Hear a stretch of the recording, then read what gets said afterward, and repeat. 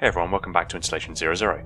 This is my Lore and Theories video series. In this episode, we look at some concept art used in the art of Halo 3 and Halo Legends, and explore its theoretical implications. It may not be the most reliable of sources, but during Halo Legends, specifically Origins Part 2, Cortana speaks of secrets. While she speaks of this, the following images are shown. Now, I don't know about you, but when I saw that, something painfully familiar struck me about the geographic layout of the land masses, and initially I couldn't actually put my finger on it until I spent some time focusing on the curved landmass towards the top left. Yes, that landmass. The landmass of Europe, or specifically a near identical shaping of Sweden. It could be just artistic merit, but the sudden realization that the configuration of the landmasses not only bear a more than coincidental similarity to Earth, but also the particular configuration of the continents right around when the single supercontinent that existed at the time of the dinosaurs, called Pangaea, began separating into their modern positions. Couple this with a relatively obvious artificial design core structure and four massive terraforming engines moving across its surface, is it possible that Earth is in fact artificial? Or at the very least has been terraformed or re engineered for one reason or another? Or could it even be a halo ring engineered to closely match Earth for our own comfort? Maybe this is Zeta Halo.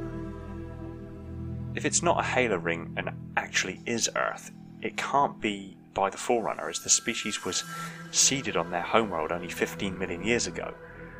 We need a species that is much, much older, in the realms of 70 to 150 million years old, based on the displayed level of continental drift, if it can be called that when they're artificial.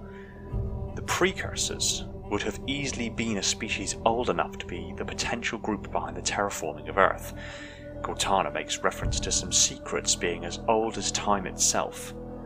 The precursors were transcendent, so the idea that they could traverse dimensional planes of existence leads me to believe that they could traverse temporal or time and spatial dimensions at will. Steering back to the Halo idea, is it at all likely that Zeta Halo, already confirmed in the lore of the books to have once and maybe still harboured ancient humanity, was designed to match or be a close approximation to our homeworld to keep us more quote unquote in check? Or is there another unforeseen ulterior motive for this?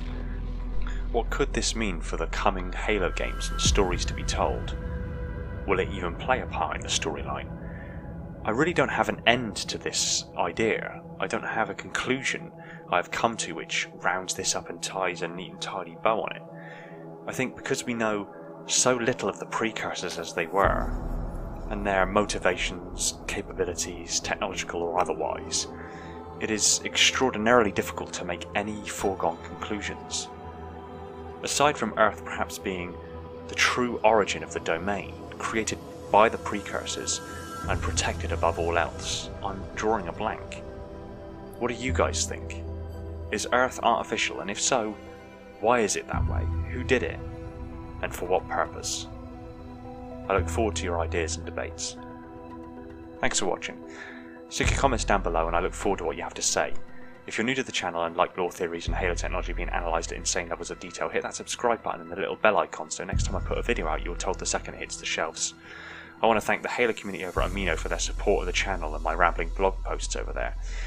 If you're not already a member of Amino, I strongly recommend you jump aboard, the link is in the description. Also, if you really like the channel, consider popping over to Patreon and give whatever support you can over there. It massively helps me out and frees up more time for me to put into this Halo content and drives towards an ultimate goal that I'm sure you'll love.